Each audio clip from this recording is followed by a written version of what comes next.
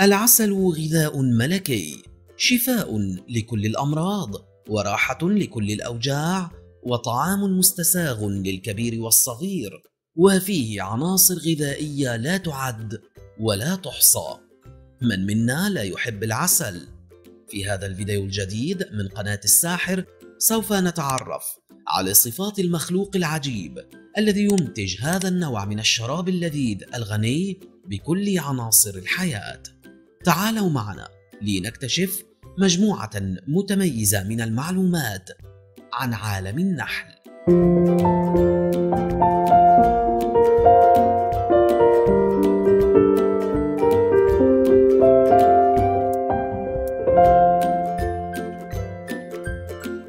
ينتمي النحل إلى مجموعة الحشرات ذات الأجنحة الطائرة وهي تحمل المنفعة الأكبر للإنسان والمخلوقات الأخرى. تضم أنواعا عديدة جدا. تصل إلى عشرين ألف نوع.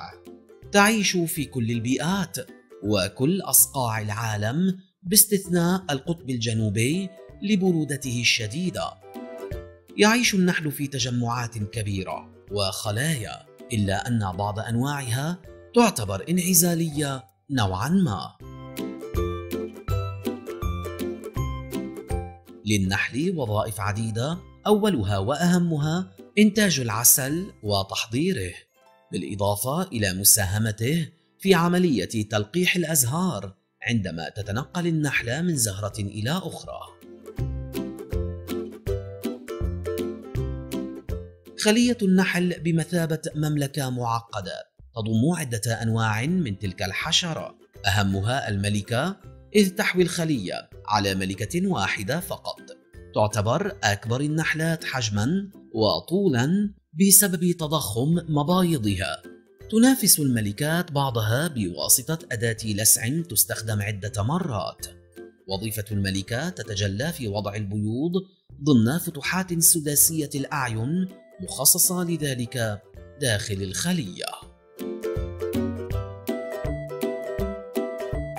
ما عدا الملكة فإن المتبقي ضمن الخلية إما عاملات أو ذكور.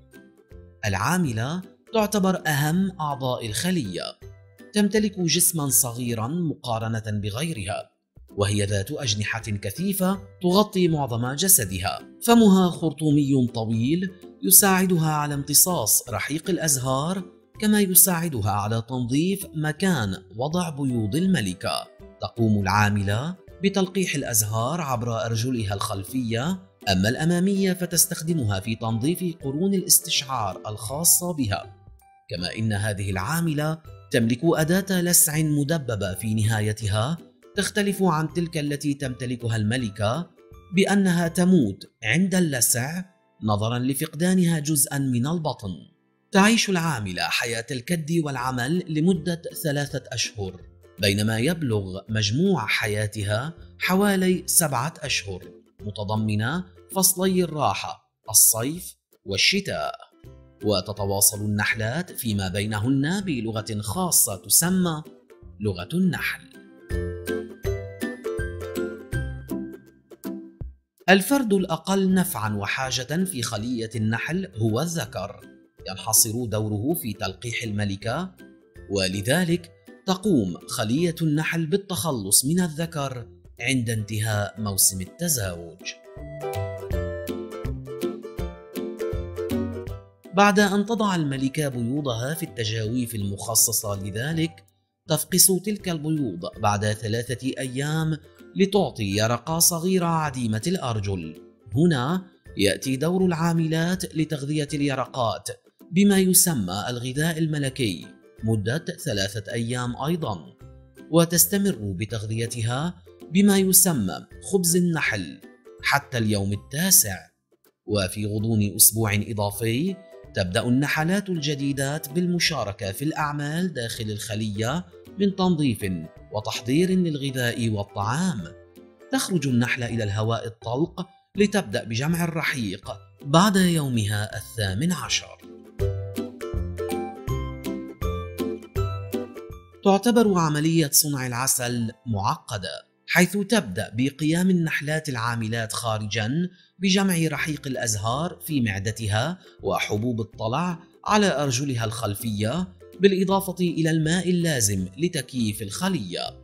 تجمع النحلة في الجولة الواحدة حوالي 40 ملغراما من الرحيق و15 ملغراما من حبوب الطلع. وبعد وصول نحلة الحقل إلى الخلية تقوم بسكب محتواها من الرحيق في الأعين السداسية ويترك إلى أن يصل تركيز السكر فيه إلى 85% ثم يغطى من قبل عاملات الخلية. أما حبوب الطلع فتكبس من قبل أرجل العاملات في أماكن مخصصة دون تغطيتها وبذلك تكون عملية صنع العسل من اختصاص العاملات. يمثل النحل بخليته وتقسيم أعماله أبهى صورا للتعاون والنشاط والحيوية. فلا نجد أي نحلة متوقفة عن العمل سواء كانت صغيرة أم كبيرة باستثناء الملكة. جميع أعضاء الخلية مسؤولون عن تنظيفها وتحضير العسل وغيره من الأغذية ولذلك يضرب المثل بالنحلة في النشاط فيقال نشيط كالنحلة. يسعى الكثير من الناس إلى العمل في تربية النحل على الرغم من أنها مهنة شاقة ومتعبة وتتطلب الكثير من المهارة والخبرات إلا أن هذا ذات مردود مادي جيد.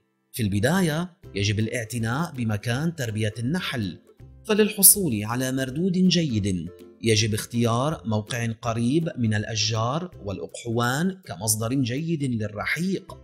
إضافة إلى ذلك يجب أن تتوفر بالقرب من النحل مياه. يفضل أن تكون موحلة لكي تحتوي على معادن إضافية من التربة. مع الانتباه إلى ضرورة وضع الخلية في مأمن عن الحيوانات أو اليد البشرية المخربة.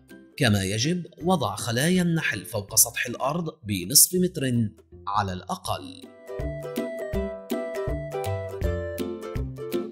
هناك الكثير من الطرق للبدء بعملية التربية. منها احتجاز بعض النحل البري الذي لا يملك مأوى إلا أنه خطر نوعا ما للمبتدئين أو اقتناء خلية جاهزة من نحال آخر مع ضرورة التأكد من خلوها من الأمراض أو عن طريق الحصول على صندوق يزن عشرة أرطال يحتوي على ملكة واحدة قابلة للتزاوج وعشرة آلاف نحلة عاملة. يجب أن يتوفر لدى مربي النحل العديد من الأدوات مثل المدخن لقمع النحل وقناع وقفازات لحماية الوجه وشفرة حادة وصلبة وهي أداة لفصل الإطارات وغيرها من أجزاء الخلية سكين لفتح خلايا النحل وصفائح من أجل استخراج العسل من خلايا النحل. اكتبوا لنا في التعليقات ما رأيكم بنشاط النحلة وعالمها المنظم وهل أنتم من محبي العسل؟